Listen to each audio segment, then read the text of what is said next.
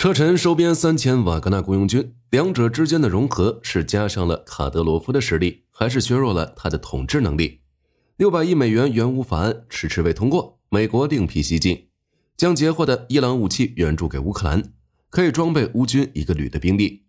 战场防无人机各凭手段，俄军接连出怪招，结果改造了坦克被乌军截获。加贺号完成第一阶段改造，具备起降 F 三五 B 的能力。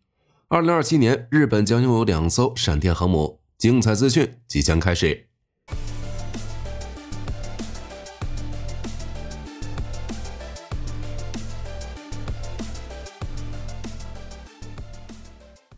车臣与瓦格纳这两支备受外界关注的俄军主力，近日又发生了一件大事。在俄乌冲突爆发之后，车臣与瓦格纳在战场上的表现，外界有目共睹。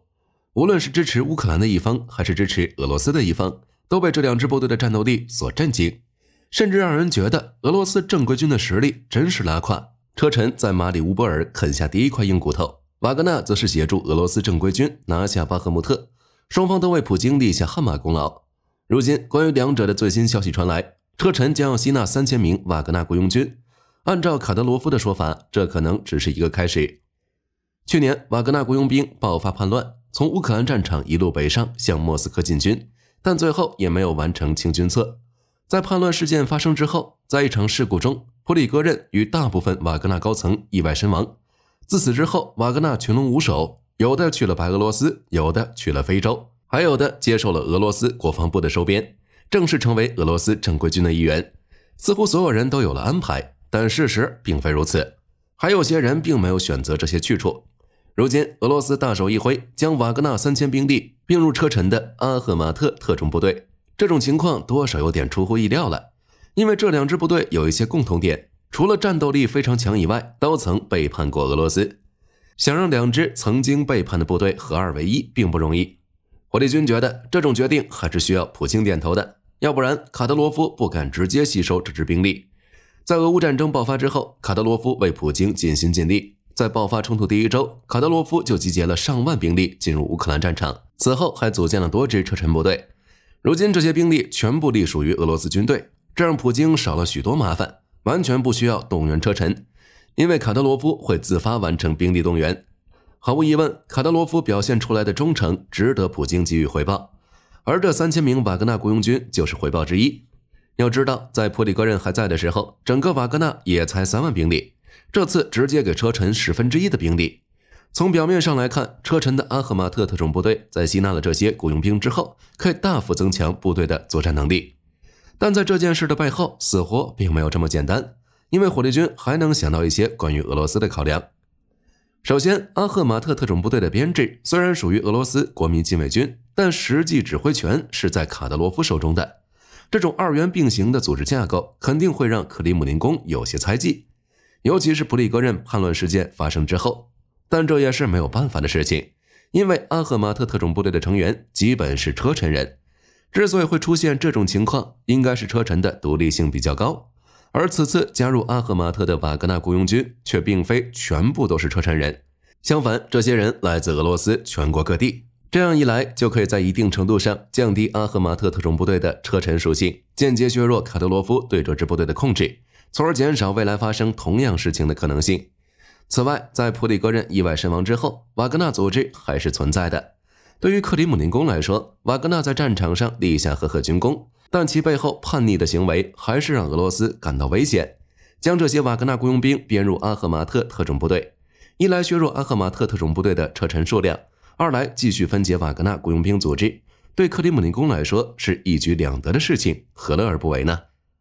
下面我们将目光放在美国身上，虽然援乌资金至今没有通过，但美国仍在通过其他方式为乌克兰提供必要的援助。近日，美国军方表示已经向乌克兰交付一批武器装备。包括大量 AK-47 突击步枪、机枪、狙击枪以及反坦克火箭炮等轻型装备，同时还为乌克兰提供了五十万发弹药。美军表示，这批武器足以武装乌军一个旅的兵力。此次向乌克兰提供的武器装备，主要是美国海军与其盟友在近两年内截获的无国籍船只所运输的武器。原本这些武器弹药是伊朗向也门胡塞武装提供的，虽然此次援助的武器都是一些轻型装备，但依旧可以缓解乌军压力。因为乌军不仅缺少炮弹、防空系统、装甲车辆以及战斗机等大型武器装备或弹药，就连常规武器的消耗同样是巨大的。除了这些轻型武器之外，美国还计划为乌克兰出售英式防空导弹的相关升级设备。价值一点三八亿美元，主要用于升级维护英式防空系统，帮助乌军防御俄无人机与巡航导弹的袭击。另外，还将有五名美国政府人员与十五名承包商前往欧洲地区，借此执行培训与维护计划。与此同时，英国外交大臣卡梅伦访问美国。不过，在与美国国务卿布林肯见面之前，卡梅伦还绕道去了一趟佛罗里达州，并在海湖庄园与美国前总统特朗普会面。不过，双方都没有释放出有关会谈的更多细节。其实，卡梅伦在访问美国之前就已经透露了此次行程中的重要目标，那就是游说美国众议院议长约翰逊推动援乌法案的投票。想要实现这个目标，那么特朗普的支持必不可少。在结束佛罗里达行程之后，卡梅伦前往了华盛顿，与美国国务卿布林肯会面，并举行了联合新闻发布会。卡梅伦在发布会上表示，乌克兰需要更多的防空系统与弹药。美国国会应该会尽快通过六百亿美元的援乌法案。出于援乌问题以外，美英两国外长还讨论了加沙问题与中东局势，包括援助加沙的海上航线。不过，根据媒体报道，卡梅伦并未见到约翰逊，原因是众议院议长的行程表中抽不出时间。而乌克兰缺乏武器弹药这件事情已经无法再继续等了。前两天，泽连斯基发表了电视讲话，表示乌军正在一千二百公里的战斗接触线上建立多梯次防御。因为根据外界估计，俄罗斯可能会在夏初发动攻势。在这次电视讲话中，泽连斯基阐述了乌军目前的战略性任务，首先就是要解决北约训练乌军新动员部队的训练问题。此前，乌军动员部队都是前往北约盟友的军事基地进行训练。如今，乌克兰正在国内为北约教官使用北约制式装备训练动员部队，准备足够的训练基地。其次就是北约制式武器的维护保养问题。泽连斯基表示，乌军装备的北约武器如果在战场上受到损害，想要维修的话，还需要运送到北约盟友境内的维修基地，至少需要三个月的维修时间，才能重新装备乌军。为了应对前线战事，乌克兰应该加快这一进程。泽连斯基会在乌克兰本土某些地区的地下建造北约制式装备的维修基地，以便能迅速维护前线的装备。下面我们来看看俄军为了防御乌军无人机的袭击，接连出了哪些怪招。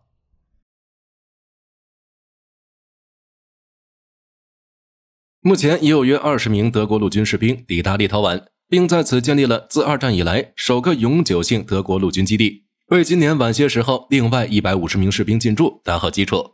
据悉，德军将该基地分两处建立，一处位于立陶宛首都郊外，另一处位于立陶宛第二大城市考纳斯郊外。预计到二零二七年底，德军在这两处基地的部署人数将达到五千人。乌克兰国家通讯社四月十日报道称。德国向乌克兰交付了新一批军事装备，其中包括为乌军阵地战铺路的六千枚一百五十五毫米口径炮弹，以及可以实施侦察和远程打击的十六架维克特侦察无人机和三十架阿 Q 三五侦察无人机等。这批军援强调了德国在与俄罗斯的冲突中对乌克兰的承诺。要说前线对俄军装甲车辆威胁最大的，当属乌军的自杀式无人机，甚至已经取代了反坦克导弹，成为了战场上头号坦克杀手。为了防御乌军层出不穷的空中威胁，俄军再度出昏招，为坦克配备各种软硬防御手段。近日，乌军在战场上缴获了一辆特殊的坦克，是俄军在 T72 坦克的基础上改装而来。俄军在 T72 车体上部与炮塔布置了多种电子对抗设备，并通过干扰附近无人机的信号来保护附近装甲部队的安全。这也使得出现了照片中的一幕：俄军将各种设备杂乱地堆在坦克炮塔上，并用绳索加固。不过还真别说，这种操作还有点东西。从乌军给的消息来看，俄军电子战坦克颇为有效。乌军自杀式无人机发动的多次袭击都未能成功，因为这辆电子战坦克可以通过干扰不同频率的制导系统来对抗自杀式无人机。不过，在乌军连续进攻下，这辆电子战坦克发生失控，撞上路障，导致失去了行动能力，最终被乌军缴获。不仅如此，乌军士兵还冒险在俄军前线阵地就地修复这辆电子战坦克，并将其带回乌军阵地，这就有点意思了。要知道，缴获这种不同寻常的电子战坦克，对于乌军来说是一笔巨大的意外之财。乌军完全可以借此研究俄军反无人机技术的工作原理。俄军在战场上除了运用电子战坦克以外，还测试了同类反无人机干扰装置。而电子战能力是各国部队中受到严格保密的内容。乌军在缴获这辆坦克之后，完全可以通过研究俄军电子战设备来制定针对性的反制策略，并获取俄罗斯电子产业的独特情报。显然，为了应对乌军层出不穷的打击手段，俄军也开始用出稀奇古怪的防御手段。此前，俄军就装备了另一种古怪坦克，全身披挂了装甲板，并在顶部安装了钢制装甲，就是为了试图阻挡乌军无人机越来越灵活的打击手段。不过，这种改装也带来了一系列的麻烦，除了阻碍炮塔转动以外，还会增加额外的重量，影响坦克的整体机动性。俄乌冲突爆发后不久，无人机就成为双方坦克的主要威胁。任何移动的武器都将成为自杀式无人机的打击对象。在这个战场背景下，俄乌双方不断寻找各种方式来应对不断来袭的无人机，争相为他们的坦克焊接了简陋的金属顶棚。有些外形虽然奇怪，但却能简单有效地防御无人机。而在两年后，这种装甲不仅成为俄乌坦克的标准配备，也被以色列坦克所借鉴。以军在进行加沙地面行动的时候，同样为梅卡瓦坦克装备了类似的金属顶棚。下面我们来看看关于日本航母的最新消息。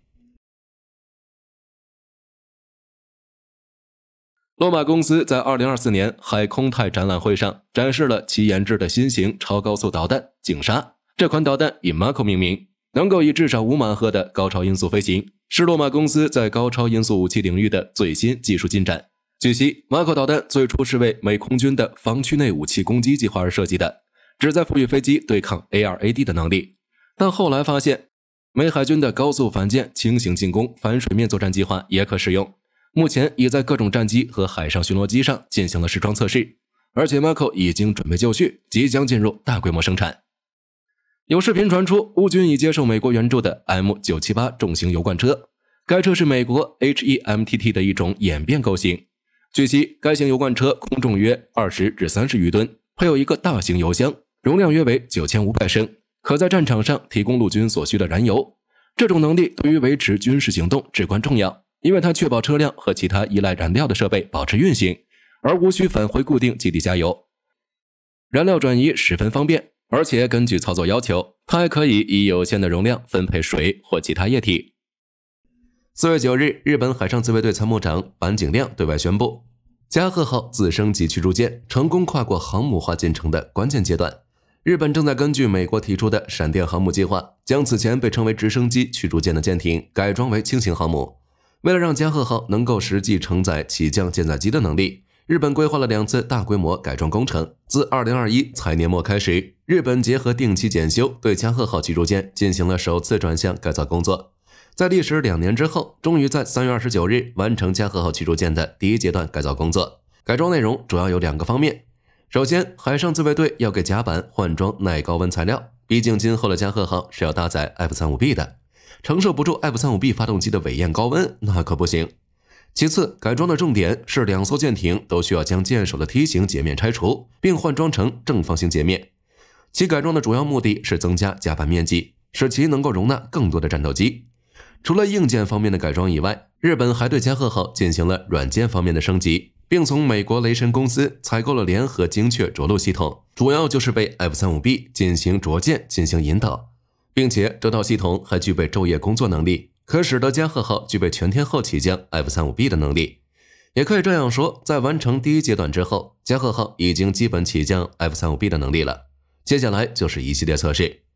二零一六年，美国率先提出闪电航母，这是一种创新的海上作战概念。利用美国海军与海军陆战队现有的两栖攻击舰，搭载 F 三五 B 垂直起降战机，将其转变为具备强大作战能力的轻型航母。其核心就是利用两栖攻击舰的甲板与内部空间来起降容纳 F 三五 B 战斗机，从而执行与传统航母类似的作战任务。